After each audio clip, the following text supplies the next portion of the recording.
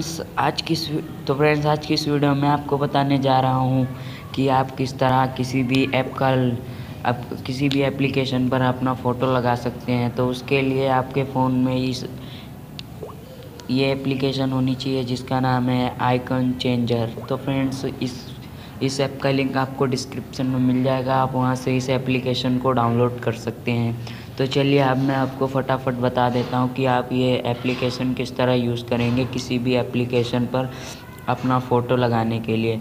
तो चलिए स्टार्ट करते हैं। तो फ्रेंड्स, सिंपली हम इस, आपको इस एप्लीकेशन को ओपन करना है। ओपन करने के बाद कुछ इस तरीके का आपको इंटरफेस दिखाई देगा। तो फ्रेंड्स, सिंपली आपको इस पर क्लिक करना होगा। जैसे कि यहाँ पर क्लिक कर रहे हैं। तो क्लिक करने के बाद यहाँ पर आपके फ़ोन में जितनी भी एप्लीकेशन है, यहाँ पर आपको दिखा देगा। आप किसी का भी आइकन चेंज करना चाहते हैं तो वो आप यहाँ से कर सकते हैं। तो इसमें आपको एक एग्ज़ाम्पल दिखाने के लिए आपको अभी बताता हूँ, मैं मैं इस वन एड एप्लीकेशन को, का आइकन चेंज करके आपको दिखाता हूँ। तो फ्रेंड्स यहाँ पर आप कई तरह की चीज़ देख सकते हैं। यहाँ पर फ़िल्टर चेंजर डायरेक्टन आप यहाँ पर इस एप्लीकेशन से इसका नाम भी चेंज कर सकते हैं। तो इसका नाम चेंज करने के लिए सिंपली यहाँ पर आपको लिखना होगा। तो यहाँ पर मैं लिख देता हूँ कुछ भी। मैं जैसे अपने चैनल का नाम लिख रहा हूँ अभी आपको बताने के लिए। तो यहाँ पर लिखने के बाद अगर आप इसको चेंज करना चाहते हैं तो यहाँ पे आपको सिंपली इस चेंज के ऑप्शन पर क्लिक करना होगा। तो चलिए हम क्लिक कर लेते हैं।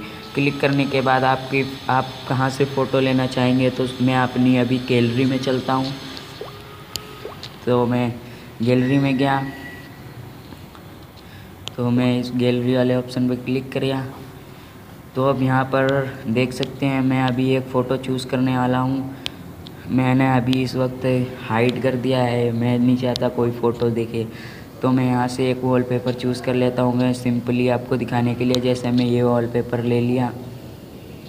तो यहाँ से आप इसको क्रॉप भी कर सकते हैं। जैसे कि मैं, मुझे इतना लगाना है तो करने के बाद आपको सिंपली इस क्रॉप के ऑप्शन पर क्लिक करना होगा। चलिए हम क्लिक कर लेते हैं। क्लिक करने के बाद आपको इस तरीके का दिखाई देगा। यहाँ पर आप देख सकते हैं इसका आइकन चेंज हो गया है। आप अगर इसमें कोई फ़िल्टर करना चाहते हैं तो आप यहाँ पर आइकन देख सकते हैं, यहाँ पर फ़िल्टर का ऑप्शन होगा।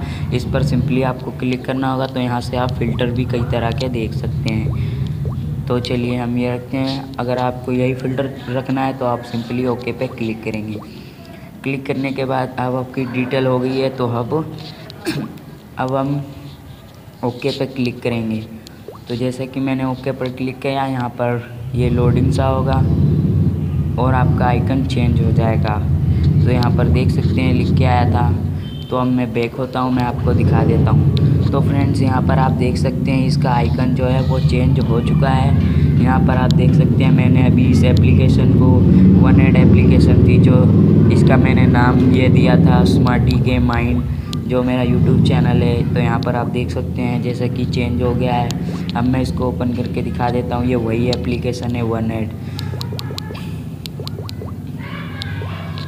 तो फ्रेंड्स, अगर आपको ये वीडियो अच्छी लगी हो तो प्लीज़ वीडियो को लाइक शेयर करिएगा और अगर आपको मेरा चैनल अच्छा लगे तो प्लीज़ चैनल को सब्सक्राइब ज़रूर करिएगा। तो फ्रेंड्स, इसी तरह आप किसी भी एप्लीकेशन का आइकन चेंज कर सकते हैं। अगर आपके मन में कोई डाउट है तो प्लीज़ नीचे कमेंट करिएगा, मैं उसका रिप्लाई ज़रूर दूँगा। तो फ्रेंड्स, मिलते हैं अगली वीडियो में। तब तक के लिए टेक केयर बाय